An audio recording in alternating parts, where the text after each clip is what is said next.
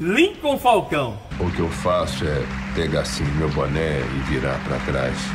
Uma das perguntas mais incríveis que existe, certo? Incrível no sentido que ele adicionou elementos na pergunta. Porque é uma pergunta repetida assim, Frequentemente. frequentemente. Toda hora faz essa pergunta. Ele falou assim, ó, a gente daquele vídeo do óleo barato do Hilux. Vocês lembram desse, desse vídeo? Fala assim, esse vídeo aqui, aponta pra cima, eu vou botar o card. Esse vídeo aqui, Ah lá, naquele vídeo ali do Dudu Gaúcho, assim ó, Lincoln Falcão, falando em lubrificante, motor quanto quilometragem, precisa colocar óleo mais grosso? Se afirmativo, em um câmbio ou diferencial, precisaria também? Olha que pergunta. antes de explicar, eu vou dizer que os dois não. Não, não precisa. E por que, que tem um certo jornalista aí que solta cada pérola que ele falou que óleo com 100 mil quilômetros, com 100 mil tem que botar um óleo específico que tem um aditivação X? Por que eu tô falando disso? Porque ele fala que óleo, que aditivo não se coloca em nada, certo? Mas nesse óleo de 100, 100 mil quilômetros ele fala que coloca, assim, não, a ideia dele não bate, entendeu? Aham. Aí, e outra, 100 mil quilômetros é, é alta quilometragem? Só se for gasolina, né? E nem para motor a gasolina, hoje em dia, 100 mil quilômetros é alta quilometragem. É, um carro bem cuidado hoje, ele roda 400 mil, 500 mil. Então aqui, motor 4 quilometragem, precisa colocar óleo mais grosso? Não. Não. Não. Que é um diferencial muito não, menos. Não. Mas tem que trocar. Sim, a manutenção ela tem que ser feita periodicamente dentro do- da especificação. O óleo, no caso do óleo do motor, vamos falar aqui, é, o carro ele nasce e morre usando a mesma especificação. Não existe essa coisa de. Porque veja bem, as galerias internas do motor ela é dimensionada para bombear um óleo 30, por exemplo. Porque 5W 30, 5W partida frio, 30 funcionamento. Então as galerias as- onde o óleo circula é dimensionada para bombear um óleo 30. Se você colocar um óleo 540, por exemplo, mais grosso, o que, que ele vai fazer? Ele vai trabalhar forçado. Você vai forçar todo o sistema.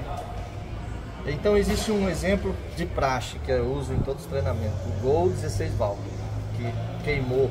Por quê? Queimou, queimou. É, porque a Volkswagen lançou o carro 16 válvulas e tal para usar um óleo 5W40. Então ela estaria migrando de um óleo mineral já para uns 540 que de 20 reais custava 60 e aí aquele negócio tá. O que, que aconteceu? As pessoas começaram a botar 1540, mineral, O 2050. 2050. O que que acontece? Voltando aqui do 530 para 540.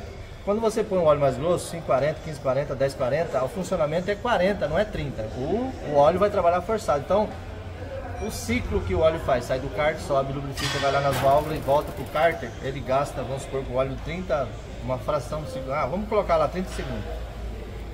Com 40, ele vai gastar 40 segundos, 50 segundos.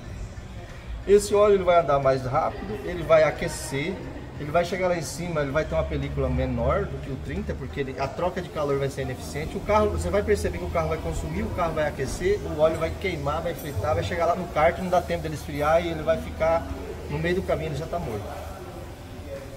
Devido Então- ao atrito das galerias, que eu já falei isso na live. É, Eu falei, o, quando o motor folga, o que folga é a parte rotativa do motor. Isso. Pistão, Anel, anel, bronzina, isso. virabrequim. As galerias de bloco e cabeçote continuam na muda. mesma espessura Não original. Você vai meter óleo mais grosso ali, entendeu? força a bomba. Força a bomba. Então assim, é, é, é, você fazendo uma lubrificação correta, porque também o motor, como tudo na vida, existe um tempo, um tempo de vida útil. Chega um momento que ele vai começar a desgastar. Né? Mas você trocar a viscosidade do, do óleo, você vai prejudicar o motor muito mais do que você manter a viscosidade. Então assim, se você manter a viscosidade correta, esse desgaste de consumo de óleo, coisa assim, ele, ele praticamente não vai acontecer. Ele vai, ele vai acontecer aquele desgaste natural que você vai ter que parar e fazer o motor. Sem citar nomes, sem citar nomes aqui. Ah. Por que, que algumas marcas, até conceituadas, lançaram óleo alta quilometragem? Então, E aí é, você vai ver a, a, a viscosidade do óleo 25W60. 60, 25, 50.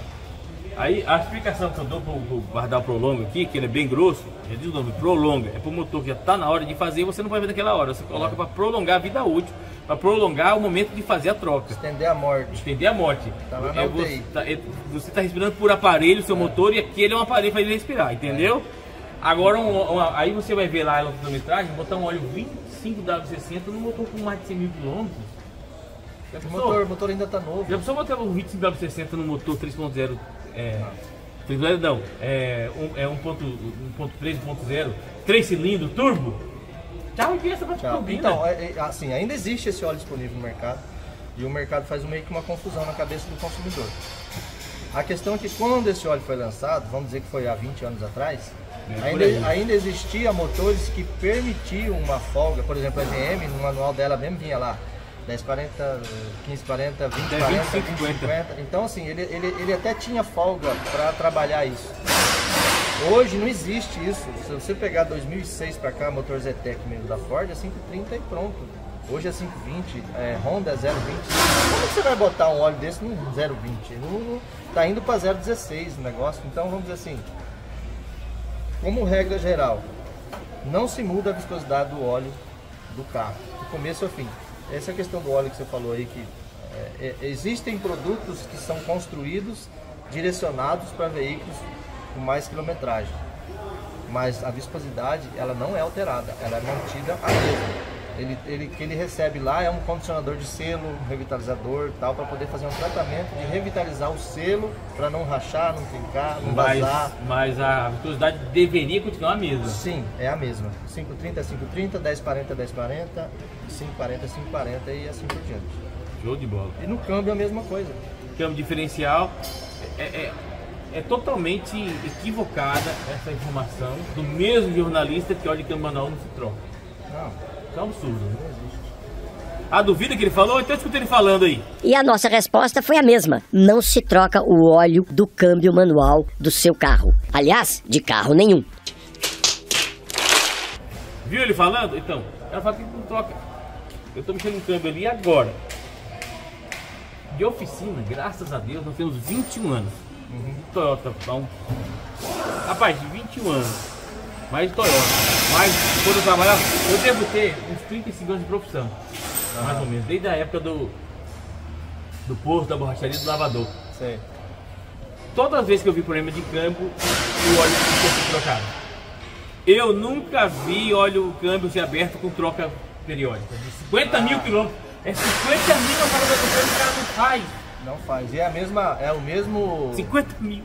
É, é o mesmo paradigma do que agora está sendo quebrado do transmissão automática. Tá sendo que agora está sendo quebrado. É, o a- CVT, por exemplo, com 30, 40 mil, tá queimado o óleo. Então, assim, é, veja bem, relatos de vários clientes que ó, a gente entende, graças a Deus, muito bem com os óleos de transmissão da Reps.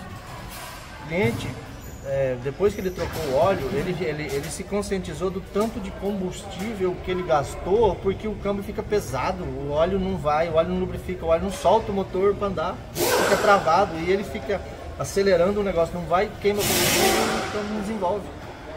Trocou o óleo, o carro mudou. Entendeu? Tem um áudio do outro, sabe por quê? Um cliente de um Corolla falou a mesma coisa. Um áudio de um cliente, vocês falou a mesma coisa que o Rogério tá falando aqui. Você-